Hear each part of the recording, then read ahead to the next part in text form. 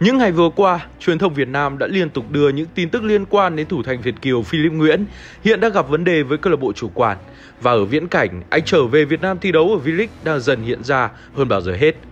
Theo một nguồn tin khá tin cậy thì đã có ít nhất 3 câu lạc bộ giàu ở Việt Nam đã sẵn sàng mơ hầu bao để chiêu mộ Philip Nguyễn. Họ sẵn sàng chào đón Philip Nguyễn với mức lương hậu hĩnh lên tới 15.000 USD một tháng, tức là khoảng 345 triệu đồng một tháng. Đó là một mức lương đáng mơ ước của bất cứ cầu thủ nào khi muốn gia nhập sân chơi V-League.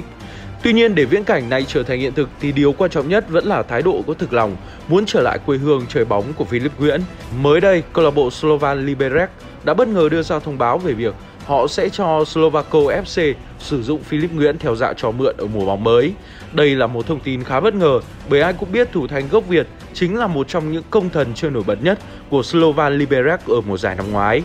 Ngay sau khi gia nhập đội bóng mới, Philip Nguyễn ngay lập tức đưa ra thông tin gây sốc tiết lộ về mối quan hệ cơm chẳng lành canh chẳng ngọt giữa anh và đội bóng chủ quản Slovan Liberec. Anh cho rằng chính huấn luyện viên Pavel Hoptik trước đây đã có những lời lẽ miệt thị phân biệt chủng tộc nhằm vào anh với ý xem thường gốc gác châu Á của anh. Mối quan hệ giữa thủ môn Việt Kiều và câu lạc bộ Slovan Liberec vì thế đã xấu đi từ mùa hè 2020. Mặc dù thi đấu xuất sắc và góp công giúp cho đội bóng này vượt qua vòng sơ loại và để lại tiếng vang ở vòng bảng Europa League, người gác đền 28 tuổi vẫn mất suất bắt chính trong giai đoạn cuối mùa giải 2020-2021. Thậm chí màn trình diễn ấn tượng trong màu áo câu lạc bộ đã giúp cho Philip Nguyễn có cơ hội được khoác áo đội tuyển Cộng hòa Séc sau đó. Tại UEFA Nations League mùa giải 2020, Cộng hòa Séc sau chiến thắng 3-1 trước Slovakia đã gặp sự cố do hai thành viên ban huấn luyện bị phát hiện dương tính với Covid-19. Những thành viên còn lại, những thành viên còn lại do đã tiếp xúc gần nên buộc phải tự cách ly nhiều ngày, không thể góp mặt ở trận đấu tiếp theo gặp Scotland ngày 8 tháng 9. Liên đoàn bóng đá Cộng hòa Séc lập tức thực hiện một kế hoạch triệu tập khẩn trương một đội tuyển với những thành viên mới toanh và đặc biệt là có cả thủ môn Philip Nguyễn. Lẽ dĩ nhiên việc Philip Nguyễn được gọi bổ sung lên Cộng hòa Séc đã mang tới cho người hâm mộ Việt Nam những cảm xúc trái chiều. Nhiều người cảm thấy mừng cho anh nhưng cũng không ít người tỏ ra hụt hẫng. Bởi nếu anh được ra sân chính thức trong một trận đấu quốc tế của Cộng hòa Séc, đồng nghĩa với việc cánh cửa khoác áo đội tuyển Việt Nam trong tương lai sẽ lập tức khép lại. Thực tế thì thông tin được gọi lên theo diện danh sách bổ sung của đội tuyển Cộng hòa Séc đã không làm Philip Nguyễn và gia đình anh cảm thấy quá vui mừng bởi từ lâu, thủ thành mang một nửa dòng máu Việt vẫn luôn đau đáu, giấc mơ một ngày nào đó sẽ được khoác áo đội tuyển Việt Nam. Dù đẳng cấp giữa hai nền bóng đá rất khác xa, nhưng tình cảm của anh dành cho Việt Nam lại rất lớn bởi ngay từ nhỏ Philip Nguyễn đã được bố nói rất nhiều về nơi ông từng sinh ra và lớn lên. Khát khao chơi bóng cho đội tuyển Việt Nam còn được thể hiện thông qua việc Philip Nguyễn và gia đình đã rất nỗ lực hoàn tất thủ tục nhập tịch cho anh. Tuy nhiên, một vài khó khăn liên quan đến các thủ tục đã làm kế hoạch này bị chậm lại. Con tôi đang mang quốc tịch Cộng hòa Séc, sống và thi đấu ở đây, nên khi được triệu tập vào đội tuyển nó không thể chối từ được. Còn về mặt tình cảm, Philip vẫn hướng về tuyển Việt Nam. Bố con tôi hiểu đây chỉ là đội dự bị của tuyển Cộng hòa Séc. Khi đội chính của họ trở lại, Philip nhiều khả năng sẽ không thể cạnh tranh được suất. Con trai tôi hy vọng chỉ ngồi dự bị trong trận gặp Scotland để vẫn còn đủ điều kiện khoác áo đội tuyển Việt Nam. Trái tim con trai tôi vẫn dành cho tuyển Việt Nam. Đó là những lời chia sẻ chân thành của ông Nguyễn Minh, bố của Philip Nguyễn. Quay lại câu chuyện kém vui của Philip và câu lạc bộ chủ quản Slovan Liberec. Theo một kênh truyền thông trong nước tiết lộ, Philip Nguyễn đang trải qua những ngày tháng tồi tệ nhất của sự nghiệp ở Cộng hòa Séc khi phải ngồi dự bị tới 14 trận liên tiếp. Đó rõ ràng là điều khó lòng chấp nhận với một thủ môn có chuyên môn tốt như Philip, buộc phải chuyển tới đội bóng khác theo diện cho mượn. Điều này càng khiến cho Philip càng có thêm khát khao ngày trở về Việt Nam thi đấu tại đấu trường V-League. Viễn cảnh Philip Nguyễn góp mặt ở sân chơi số 1 Việt Nam là bước đầu tiên, còn bước tiếp theo của anh chàng Việt Kiều này sẽ là tìm cơ hội khoác áo đội tuyển quốc gia Việt Nam.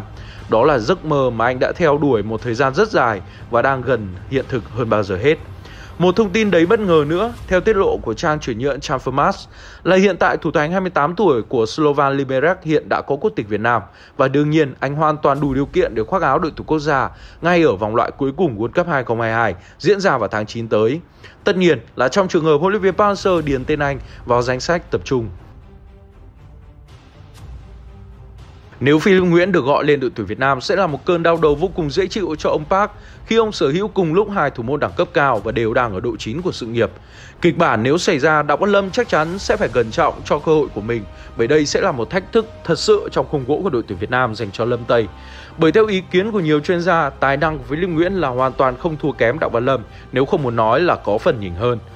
Trước đây từng có ý kiến cho rằng việc sử dụng Philip Nguyễn thời điểm này là không cần thiết đối với đội tuyển Việt Nam bởi chúng ta đã có Đặng Văn Lâm, một thủ thành Việt kiều khác đã có bước phát triển vượt bậc từ khi gia nhập V-League.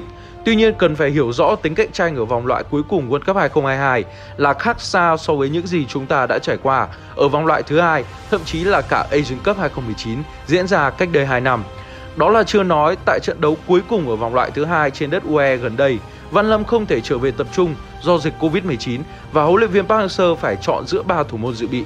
Điều này đã mang tới rất nhiều lo lắng và hoài nghi cho người hâm mộ nước nhà. Thật may Tấn Trường đã hoàn thành tốt nhiệm vụ của mình, nhưng phải thừa nhận Tấn Trường cũng chỉ chơi hai ở trận đấu gặp Malaysia. Còn những gì sau đó trước chủ nhà UE, chúng ta dễ dàng nhận thấy tầm quan trọng của một thủ môn mang dáng dấp châu Âu kiểu như Văn Lâm và Philip Nguyễn. Gần như chắc chắn Đặng Văn Lâm sẽ tiếp tục có mặt trong thành phần của đội tuyển Việt Nam tham dự chiến dịch vòng loại World Cup bắt đầu tháng 9 tới đây. Song có một vấn đề là Văn Lâm hiện có quá ít cơ hội ra sân ở Cerezo Osaka. Những lần ra sân hiếm hoi, anh cũng gần như không có việc gì để làm trước những đối thủ dưới tầm. Chính vì lẽ đó, một sự bổ sung trong khuôn gỗ lúc này trở nên rất quan trọng đối với kế hoạch của huấn luyện viên Park Hang-seo.